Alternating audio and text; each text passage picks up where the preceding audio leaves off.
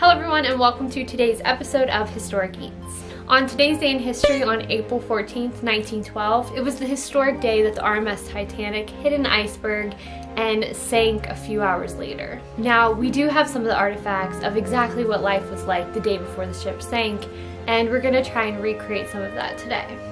We are gonna make Waldorf pudding, which was the dessert that was served to first class passengers that were on board the Titanic.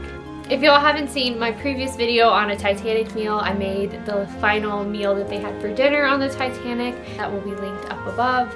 Um, but as we did in that video, we're also going to be using the authentic replica plates that were used in first class on the Titanic. It's this beautiful gold and navy blue pattern. And this is like one of the most unique bowls I've ever seen. It's like a flat, has a flat, thick top I think the Waldorf pudding would look really, really beautiful in this. So we're gonna give a crack at it and see how we can do. Not gonna lie, I was a little bit tempted to just buy like a pudding packet instead of making like a custard because I've never made a custard before. But we have to do it the authentic way and I don't know, it might be even better than pudding, instant pudding. Alrighty, so I'm gonna take you along on the journey with me of making this amazing meal and maybe we will have a special guest at the end.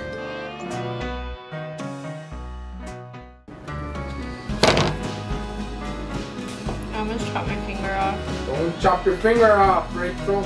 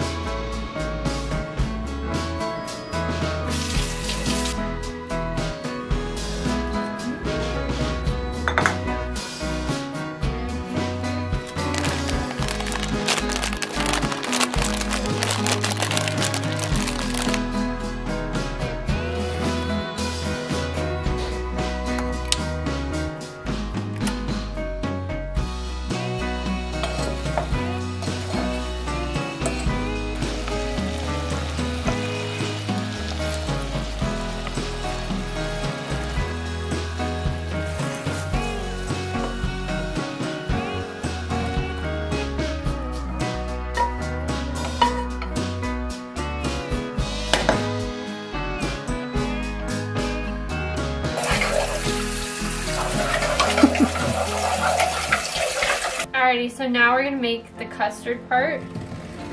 So we gotta whisk some milk, medium high. Okay, go.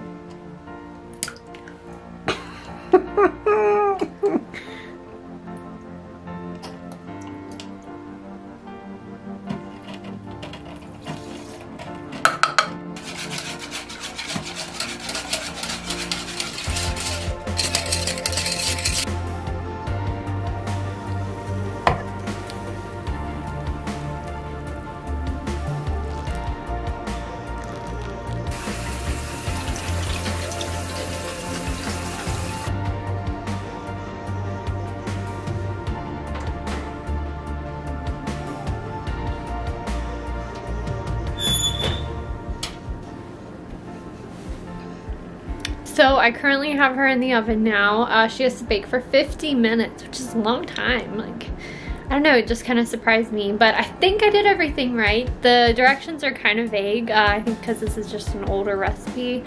Um, it didn't have any measurements on temperature and stuff like that. It just said right below a simmer, which I'm not exactly sure what below a simmer is. I'm, I don't know, it's hard to tell. So hopefully everything turns out good.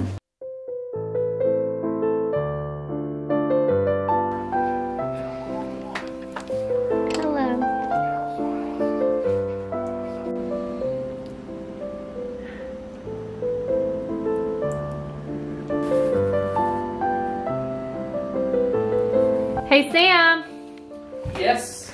I have the dessert of the first class passengers on the Titanic. This is what they had the last night. So you did the dinner before and you did the dessert today. Yes. Is it rude if I say it looks like scrambled eggs? Uh, no. Served this in first class. Yes. Interesting. It's definitely probably better than mine, but Oh, don't say that. I I'm haven't sure even it's- tasted it yet. I'm sure it looks great. Right, And there's supposed to be whipped cream on top, but we don't have any. Okay, all right, ready. Moment of truth. Everybody, if she poisons me. One. Right, I'm joking. One, two.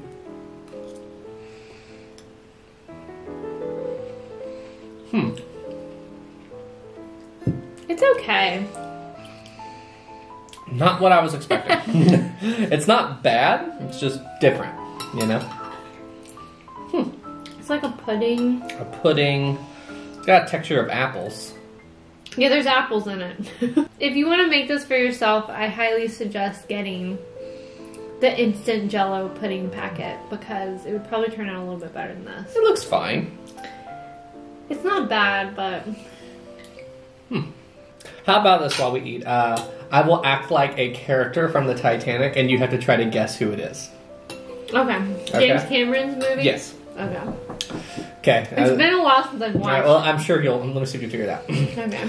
It's very interesting. The young lady slipped so suddenly, yet you had your time to untie your jacket and your shoes.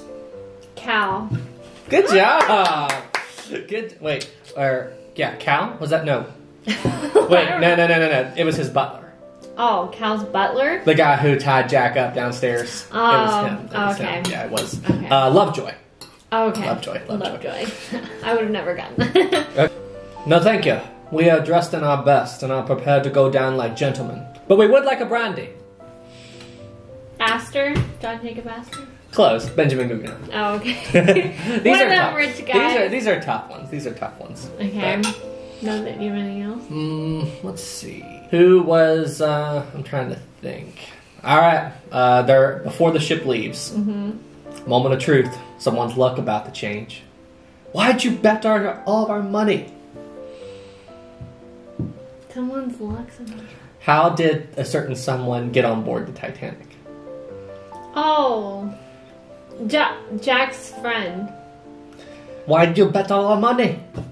What's his name? I don't know. Fabrizio. Okay. Take her to sea, Mr. Murdoch. Let's stretch her legs. I honestly have no idea. That's the captain!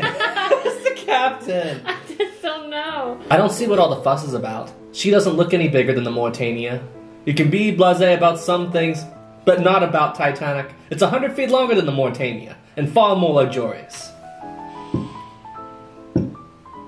Have no idea. Cal. Rose and Cal. Oh. That's the beginning when Rose first sees the ship. Okay, I'm like, I give up. I don't know any of these. I've got one more, and I know you can get this Okay. one. Okay? Alright? Son! Son! Do you have any idea what you're doing? Well, you're about to walk into the snake pit. What do you plan to wear? Molly Brown, uh, when Jack's going to dinner. You I knew it. that one. You got it. and my favorite quote is right after they blow the trumpet. She goes, Alright. Alrighty, thank you all so much for watching. Don't forget to give me a like and hit subscribe. And would you eat this if I made this for you? I will. It's not bad. It's just not the best ever, you know? Right. It'll work. Alrighty, y'all have a good one. I'll see y'all in the next one. Bye now. Why on earth do they always insist on announcing dinner like a damn cavalry charge? Yeah, I like her. She's like awesome. She's my favorite.